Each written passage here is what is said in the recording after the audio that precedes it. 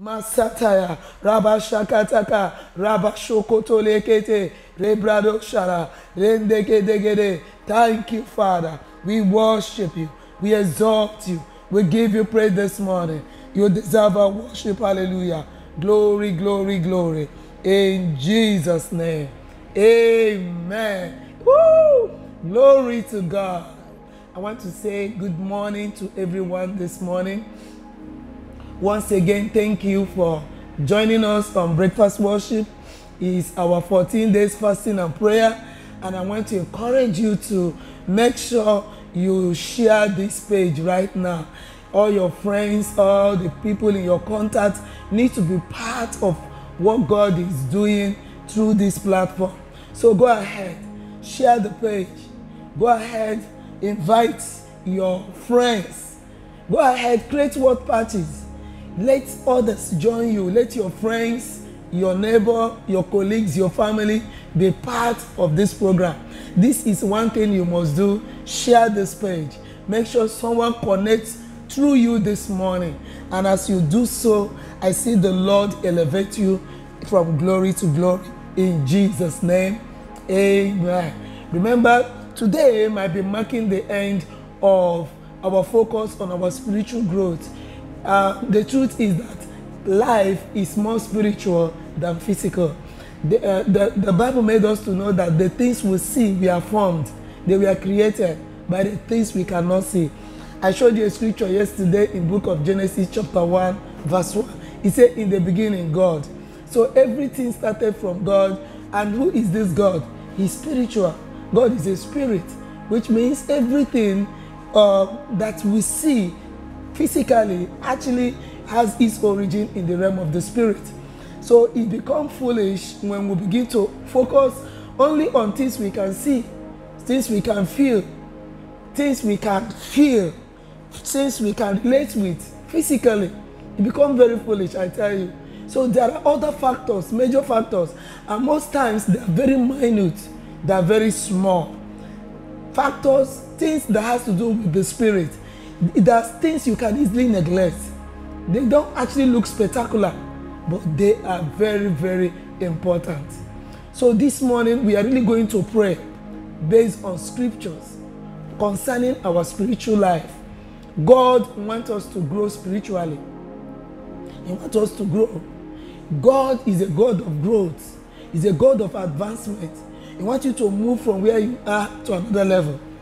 Even when a child is born in the physical realm, that child is expected to grow, grow, you know, develop and grow.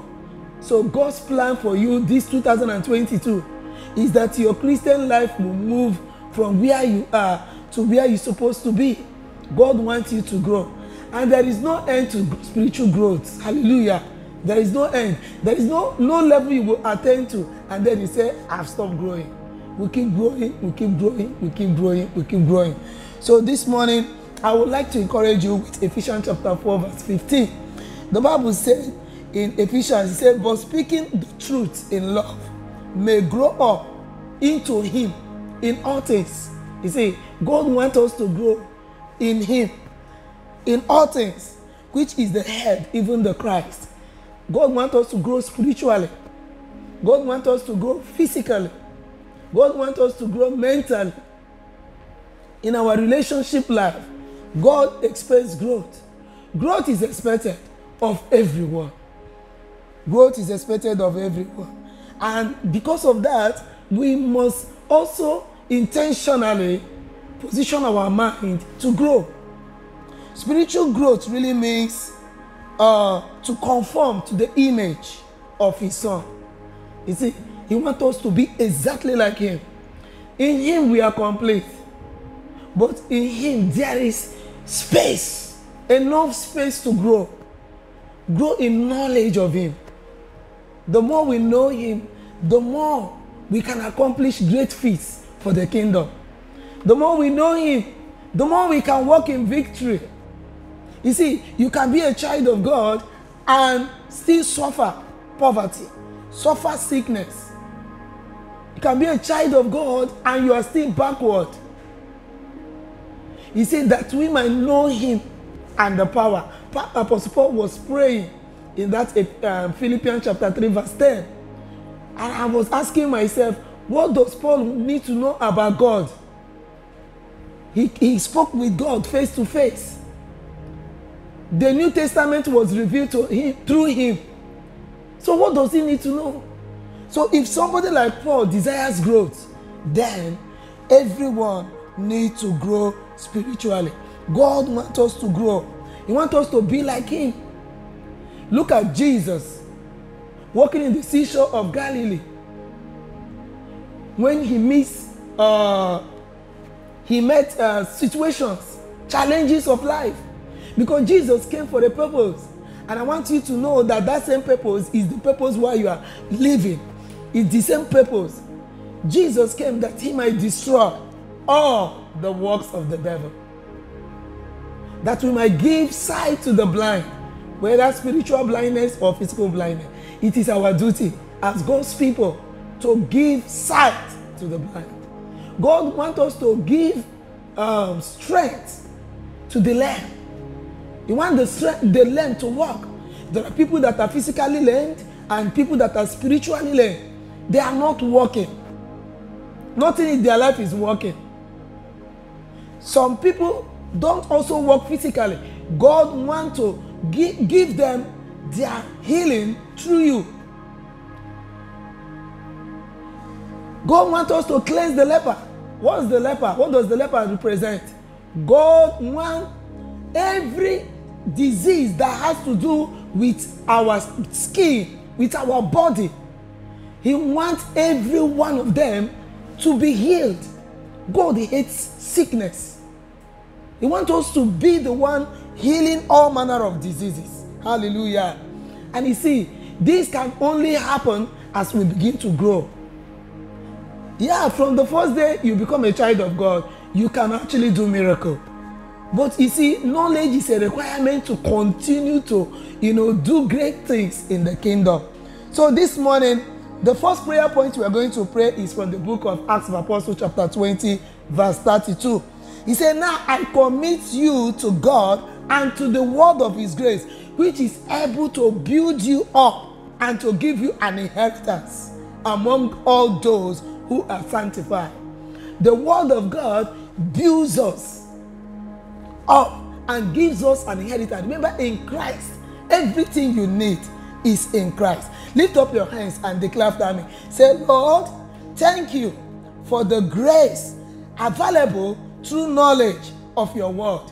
I commit myself to receiving the word of your grace for my spiritual growth. I commit myself to receiving the word of your grace to my spiritual growth. Throughout this year 2022, I commit myself to receiving the word of your grace for my spiritual growth, fitness, upkeep in the name of Jesus. Let it be your prayer now. Makata zebregedu shakatala. In the name of Jesus, through the knowledge of your word.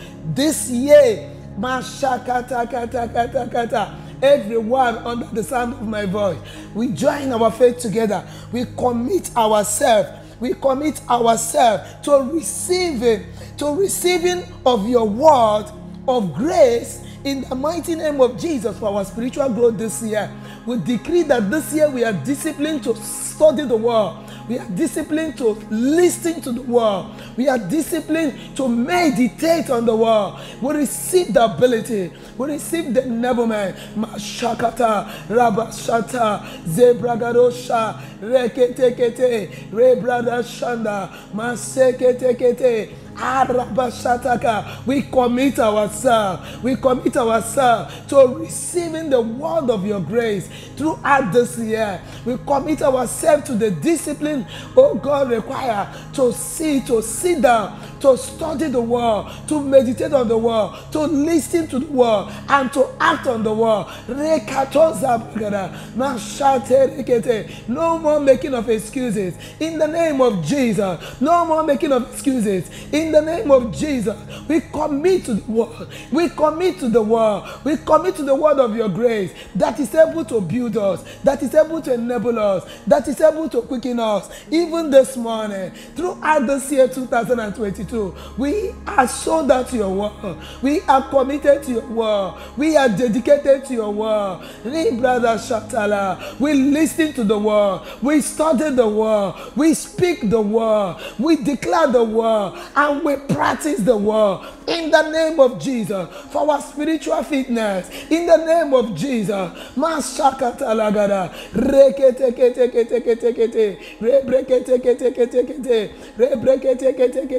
The word of his grace that is able to build us, that is able to enable us, that is able to make us spiritual giants. Where we do not cave in for any little temptation, where you are stable, where we know what to say, where we know what to do like Jesus. We Mashakata. We will begin to convert the little to abundance because we know what God's word stands for us. In the name of Jesus. Thank you, Lord. In Jesus' name. Amen. We are praying for patience. You know, patience is a requirement in the kingdom because we cannot see the world. When we say we have received, we might not see physical eyes. So patience is an ingredient that is required, a quality that is required. It takes patience to operate with God because God is a spirit. You cannot see him. So patience is a requirement. We are going to look at Colossians chapter 1 verse 11. He says strengthened with all might according to his glorious power unto all patience and long suffering with joyfulness Hallelujah. You know, a lot of time you can be patient, but not with joyfulness. So this scripture says that we can be strengthened with his might, with that power of resurrection, according to his glorious power, with all patience. With all patience, you cannot operate in the power of God without patience. So declare after me. Say, Lord, I know that it is through faith and patience that I will obtain my inheritance in Christ and come to spiritual maturity. So I pray that you make me strong and with patience I receive spiritual strength. I declare I am revitalized. I am quickened spiritually with patience. I am furnished with quality of patience. In the name of Jesus, I activate the fruit of patience in me right now. I decree I am growing in patience in the name of Jesus. The fruit of patience is increasing in my life right now. Lift up your voice and begin to declare. It is with patience that we can obtain our inheritance in Christ. Therefore, right now, we decree in the mighty name of Jesus that we are growing in patience and long suffering in Christ. We are patient believers patient people in the name of Jesus. We decree this year we we are growing in patience in the name of Jesus. We are growing in patience in the name of Jesus. We are growing in patience in the name of Jesus. We know how to wait on Him. We know how to wait on Him. We know how to wait on Him. We are not impatient. We trust Him. It requires patience to trust the Lord. It requires patience to trust Him when you don't understand what He's doing, when you don't understand what is happening. It requires patience. This year, Lord. We are patient people. We are growing in that ability in the name of Jesus Christ. Amen. We are praying for the spirit of the fear of God. In, in book of Psalm chapter 19 verse 9, he said, the fear of the Lord is clean, enduring forever. The judgments of the Lord are true and righteousness altogether. The fear of the Lord is clean. Declare, say, Father, I pray and I receive the spirit of fear of God that I may hate evil, hate lies, hate pride, hate arrogance, and all other sinful nature, that I might be wise unto salvation. In the name of Jesus, wherever you are, lift up your voice and begin to decree. Remember, the fear of God makes you to hate. It makes you to hate all the appearances of the devil. Oh, the the life of Joseph we, we, studied last yesterday, two days ago. We are talking about a man that fear God. The Bible says because because just uh, Joseph feared God, he ran away. When temptation of fornication came his way. This morning, say in the name of Jesus, I received the fear of God, the fear of God that will cause me to hate every appearances of the devil, cause me to hate immorality, cause me to hate drinking, drunkenness, cause me to hate lies, cause me to hate all evil, cause me to hate pride, arrogance in the name of Jesus. I operate in the fear of God this year. In the name of Jesus, that fear of God that will cost me, even in my private life, where no one is seeing me, I still, that love of God restrains me. It costs me to walk away from all appearances of sin. In Jesus' name, amen. The next prayer point we're praying, we are praying for revelation, wisdom, and insight. Okay, that will take us to that scripture that we have been studying in Ephesians chapter 1, from verse 15.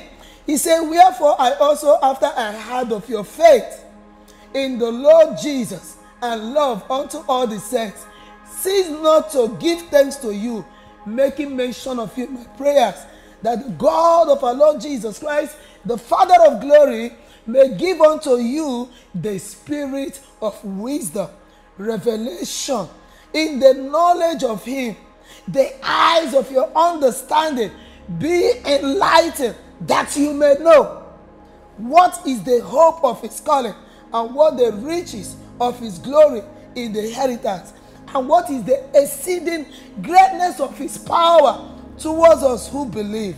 This morning, lift up your voice and declare after me. Say, Father, in the name of Jesus, I pray I receive now in the name of Jesus, the spirit of wisdom. I receive the spirit of revelation in the knowledge of you. I pray that the eyes of my understanding is enlightened, is flooded with light throughout this year. Come on, let it be your prayer. My eyes of understanding is flooded with light.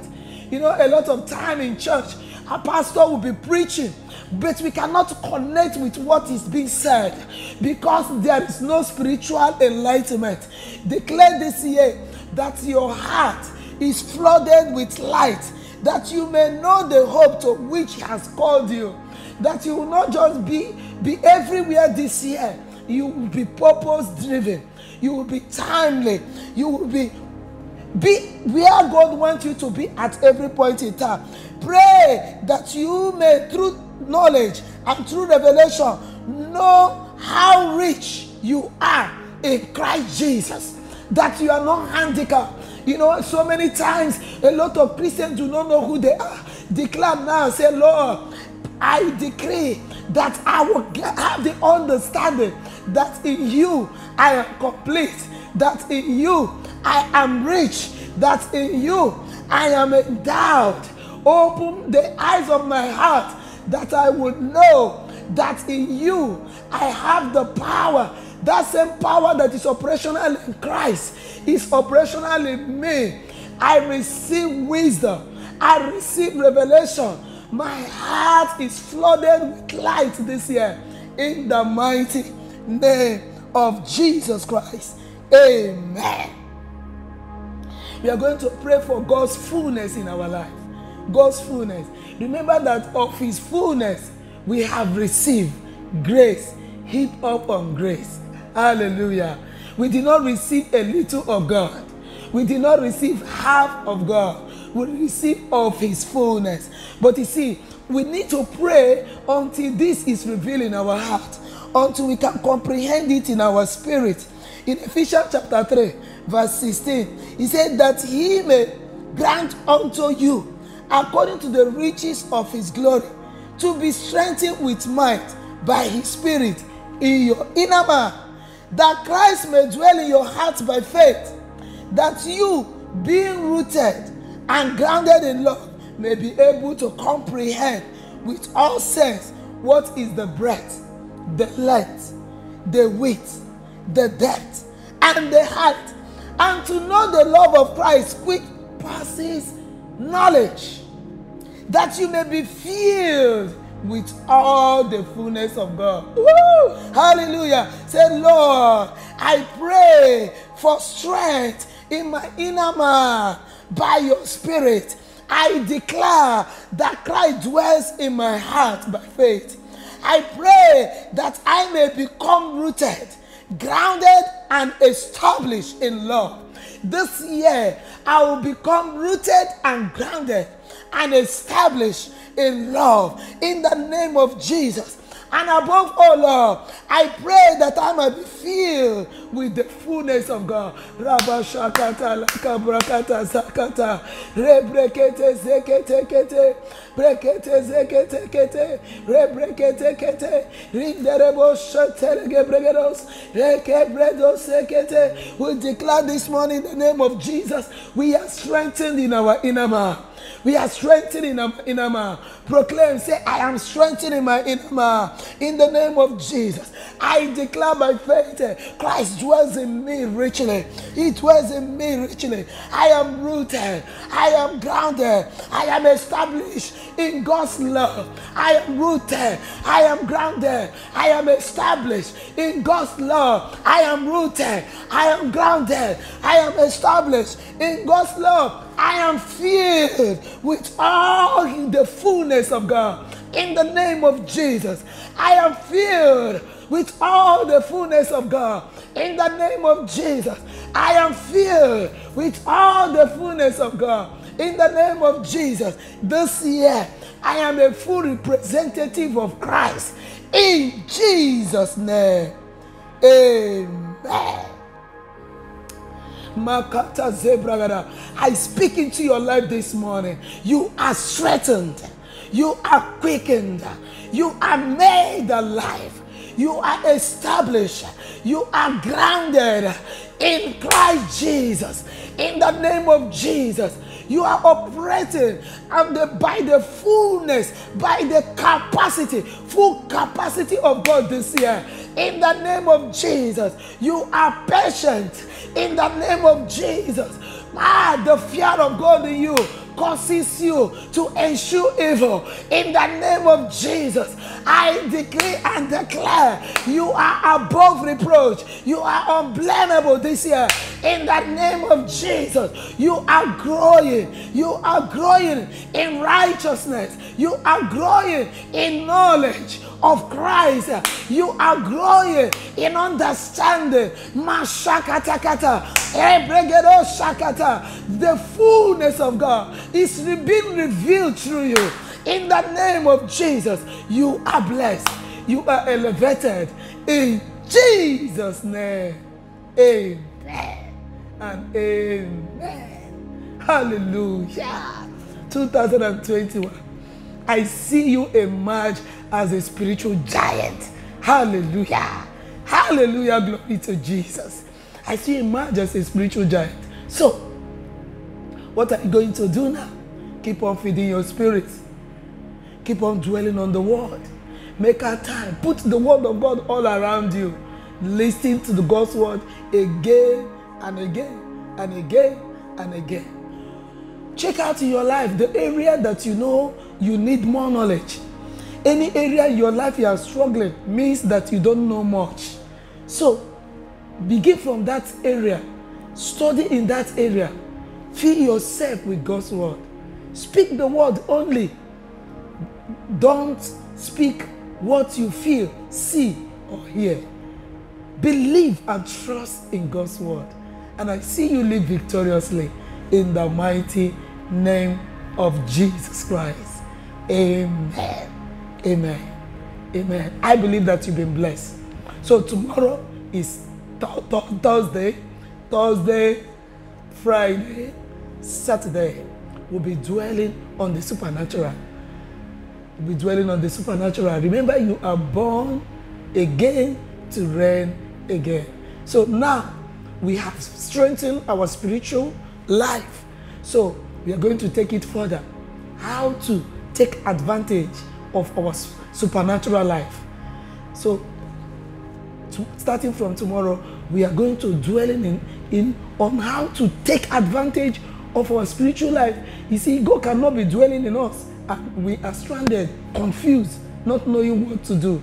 Or we complain just like the people in the world. So join me 6 a.m. tomorrow. We are going to still pray and look at the scripture. And I believe you are already blessed this morning. Thank you very much. Go about your life with this mindset. You are 100% loved by God. Bye.